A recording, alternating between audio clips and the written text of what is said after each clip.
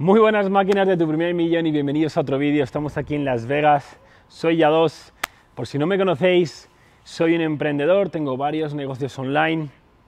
Eh, en cuestión de 5 años fui de tener 50 dólares en mi cuenta de banco a generar más de un millón de dólares con mi negocio online de fitness. Así que si queréis aprender cómo podéis vosotros crear vuestro propio negocio de online de éxito, negocio online de éxito, suscribiros al canal y no os perdéis ningún vídeo y seguidme aquí en mi Instagram porque os doy contenido de valor a diario, ¿vale máquinas? Así que hoy vamos con un vídeo, voy a contar una pequeña historia, ¿no? Voy a contar cómo me compré uno de mis coches, la verdad que fue el primer coche eh, caro que compré, el primer coche casi exótico, fue un Corvette, ¿vale? Ahora mismo no lo tengo ya en mi garaje, eh, lo vendí y lo vendí no porque no me gustara ese coche o porque necesitara el dinero, lo vendí por, mm, simplemente por negocio, o sea, lo vendí porque no quería perder dinero. Cuando, os voy a explicar ahora todo, todo el sistema que hice y cómo conseguí comprarme un Corvette de 80 mil dólares casi gratis. Y digo casi gratis porque realmente si no contamos obviamente gastos de mantener el coche que son obvios, ¿vale? Simplemente lo que me costó comprarlo, solo me costó mil dólares. Entonces, si queréis averiguar cómo hice esto, quedaros aquí en el vídeo hasta el final porque lo voy a explicar.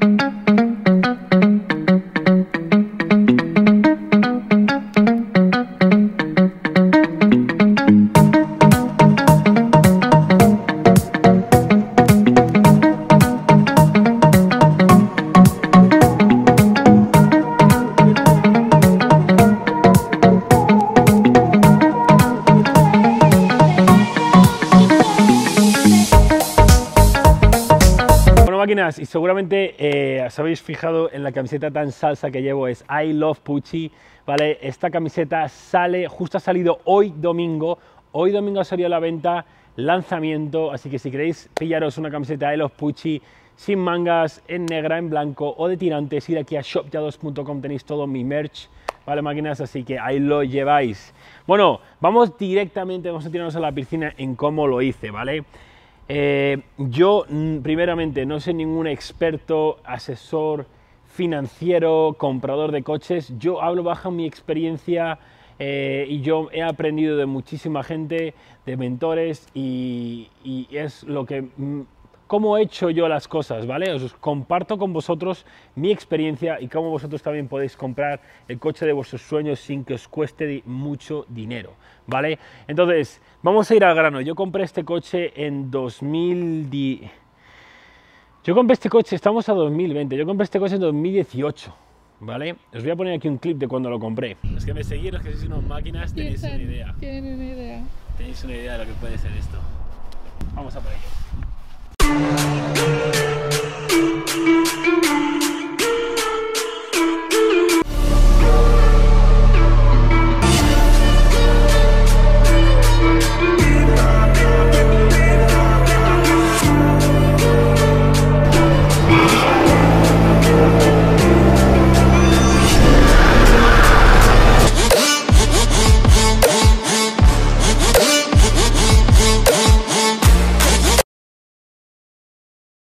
I can kill with a word. and his word shall carry death eternal to those who stand against the righteous. The righteous! There is a Harkonnen among you.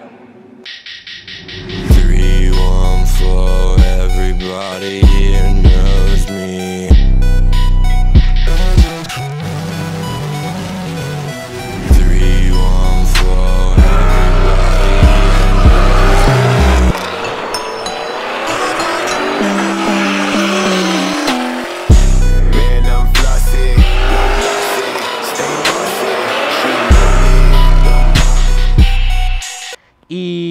Este coche era un Corvette eh, 2016 Z51, ¿vale? Yo lo compré en 2018, es decir, tenía dos años.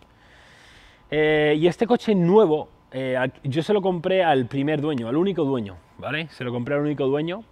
Y nuevo le costó 80 mil dólares, ¿vale? Eh, tenía la etiqueta, lo que le había costado nuevo, le costó 80 mil dólares. ¿Vale? Este coche estaba absolutamente nuevo. Tenía 7.000 millas o 6.000 millas. Olía a nuevo aún. Lo tenía en el garaje con una funda.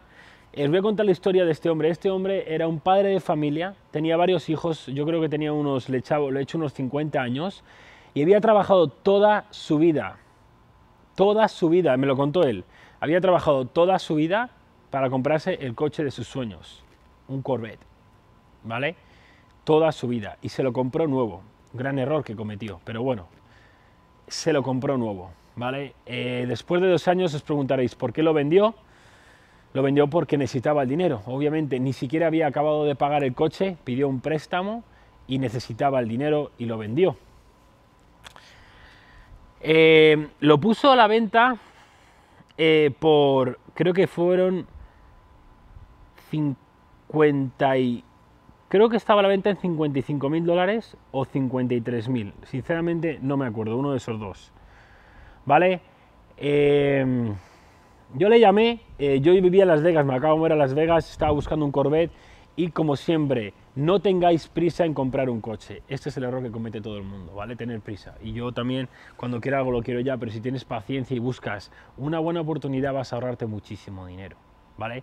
Entonces encontré este coche, le llamé, yo una cosa cuando compro coches, tengo que hablar con la persona para, antes de ir a verlo y perder el tiempo, para ver, yo por teléfono vi que era un hombre serio, un hombre con educación, nunca compraré un coche que tiene educación por el teléfono, no lo haría. Es muy importante que habléis por teléfono y veáis cómo es la persona.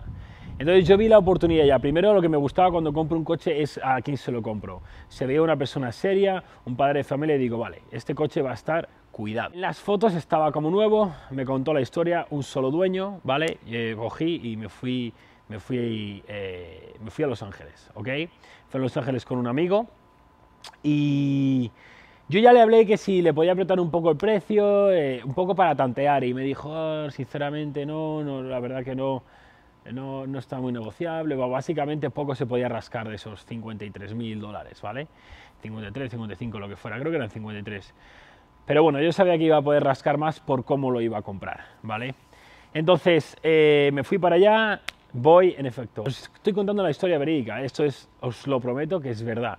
Eh, dice, lo siento que está un poco sucio el coche y tal, y yo, joder, ya digo, bueno, verás, abre el garaje y está dentro del garaje, es el único coche que está en el garaje, tiene cuatro coches fuera, coches antiguos, y este es el único coche mm, bueno que tiene, lo tiene dentro del garaje con una funda. Y yo, joder.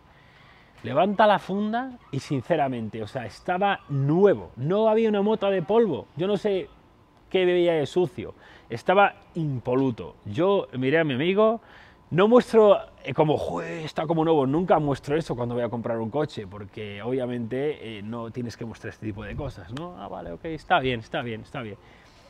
Total, el coche estaba perfecto, digo, este es el coche perfecto para comprar. ¿Ok? Le dije, mira, está perfecto tal. eh, y le dije, ¿qué me dices si te doy 45 y me lo llevo hoy? Cash. Me dice, no, no, no puedo, no puedo. Eh, no puedo dejarte la 45, ni de broma, ni de broma. Eh, y yo, te doy, me lo llevo hoy. He dicho, me lo, me lo llevo hoy, cash. Me dice, no, no, no, está, joder, no puedo, no puedo. Máquinas, resumen de la historia. Me lo llevo por 45 mil dólares. ¿Ok? 45 mil dólares. Estaba anunciado en 53, 55. El valor de ese coche real, ¿vale? El valor en ese momento era eso. 53 era un buen precio para comprarlo. Estaría valorado en unos 55, la media de los anuncios. Me lo llevé por 45. ¿Vale? ¿Por qué? Pues porque negocié, porque supe hacer las cosas y porque lo pagué cash porque lo pagué a tocateja, le di el dinero a tocateja. Vale, yo con esto no estoy diciendo que tengáis que comprar los coches cash, ¿vale? Por cash no tiene que ser en efectivo, es lo mismo dar un efectivo que, que hacer una transferencia, es lo mismo, ¿vale? Por, por cash me refiero pagado en el momento, ¿vale? Lo que, lo que tenéis que ver es que me llevé un chollo, ¿vale? Un chollo, 45 mil dólares, un coche que hace un año y medio que lo había comprado, casi dos años, costaba 80 mil dólares y estaba nuevo. Es como si yo lo hubiera sacado del concesionario. ¿Ok? 35 mil dólares me ahorré, ¿vale? Tuve ese coche durante casi dos años, ¿vale? Año, año y medio. ¿Sabéis por cuánto lo vendí? por 44 mil dólares. Y yo lo compré por 45. Algo muy importante que se me olvidó destacar es que, fijaros el primer dueño que compró un coche nuevo, perdió 45 mil dólares en un año y medio y lo usó 6 mil millas. Yo, con el coche como nuevo, después de un año y medio que saliera, lo solo perdí mil dólares y lo usé 10, 14 mil millas, el doble. Fijaros la diferencia de comprar un coche nuevo a comprar un coche casi nuevo de segunda mano, bien comprado y bien vendido. Obviamente no estoy contando las modificaciones que le puse y los gastos del coche, seguro, etcétera, gasolina. Eso no lo estamos contando. Eso es obvio un coche tiene gastos, ¿vale? Como cualquier cosa. Lo que quiero que entendáis también es por qué lo vendí. ¿Vale? Eh, me compré el Lamborghini, tenía los dos coches, algunos si me seguís lo sabréis. Lo vendí porque salía el nuevo, el nuevo Corvette, el C8, la caja nueva, que a mí personalmente no me gusta, me encanta ese coche, pero yo lo vendí en septiembre más o menos y ese coche ya lo habían anunciado y salía en enero. Dije, tengo que vender este coche ya porque va a salir la caja nueva y va a devaluarse muchísimo y voy a perder bastante dinero. Entonces, este es mi movimiento, ojo. Yo no quería vender ese coche, yo me lo quería quedar porque me encanta. Me quiero quedar ese coche de por vida, de hecho, me encanta ese coche. Entonces, ¿cuál ha sido mi, mi movimiento? Lo vais a ver. Lo vendí en ese momento porque iba a perderle solo mil dólares. Pillo la pasta, esta pasta la uso para hacer más dinero con mis negocios.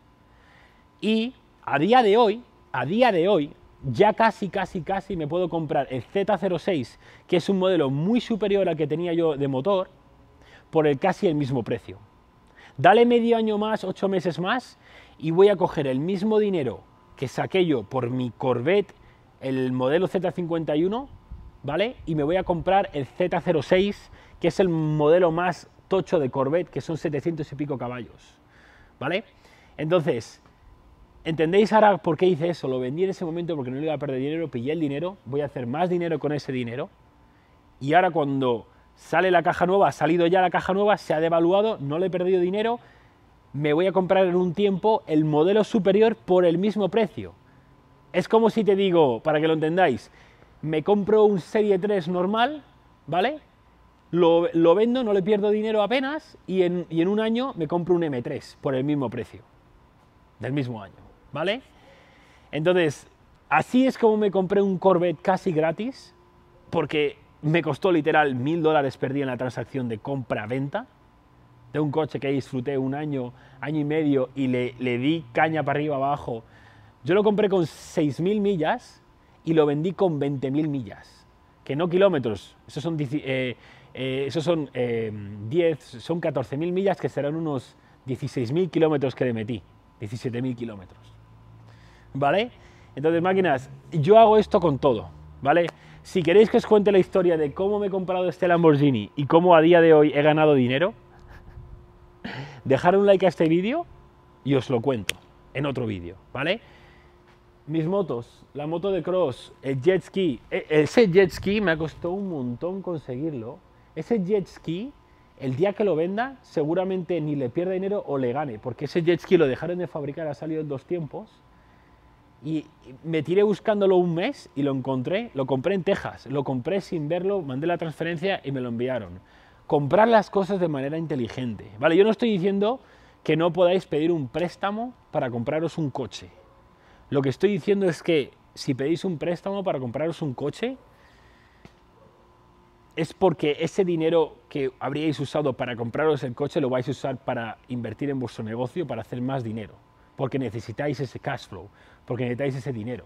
Lo único que estoy diciendo es, por favor, yo no digo que no disfrutéis de la vida y que os compréis caprichos, mirar mi garaje, ¿vale? ¿Ok? Lo que digo es que os los compréis de manera inteligente y os los compréis en el momento adecuado. Ok, yo me podía comprar ese Corvette mucho antes. Porque tener en cuenta una cosa, lo pagué cash, lo pagué a tocateja. ¿Qué significa eso? Que yo hace bastante tiempo antes podría haber pedido un préstamo y habérmelo comprado. Pero eso me habría frenado muchísimo. Y si algo en mi negocio va mal y no puedo pagarlo ahora, tengo un gran problema.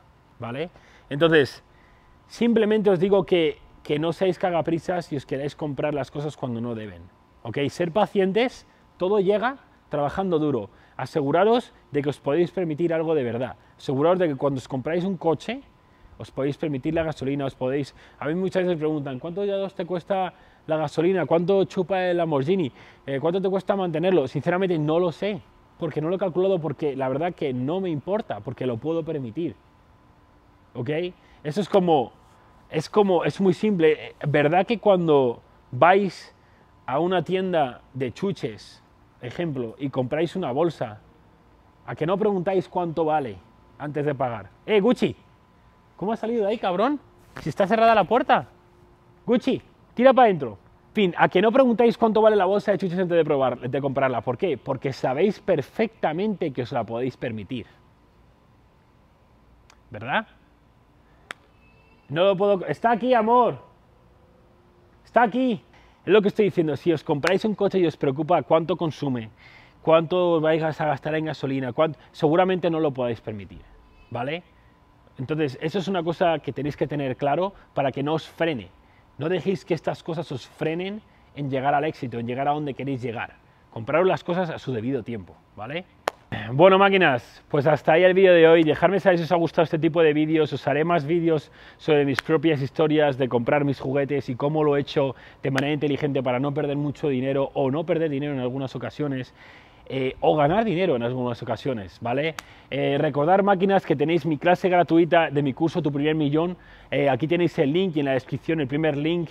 el curso ya lo han completado más de 800 máquinas que están generando más ingresos mes a mes, más clientes mes a mes, os enseño mi método Tu Primer Millón, de la A a la Z, cómo yo tener 50 dólares en mi cuenta de banco a generar más de un millón de dólares paso a paso cómo he construido mi negocio para que tú también puedas construir tu negocio online, ya seas entrenador personal o en cualquier nicho, cualquier sector. Mientras sea un negocio online y tengas un producto o un servicio, mi método te va a funcionar para crear tu empresa. Vale, máquinas, recordad suscribiros al canal, mucha salsa. Nos vemos en el siguiente vídeo. Un saludo desde Las Vegas. Hasta luego.